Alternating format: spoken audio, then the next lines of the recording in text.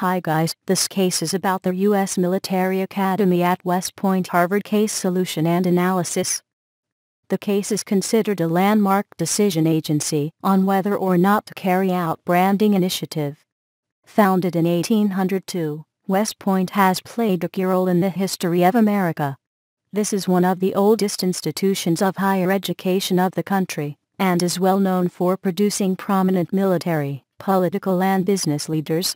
In an increasingly competitive higher education, Director of Strategic Communications at the U.S. Military Academy faced with the decision of whether to invest in the rebranding effort.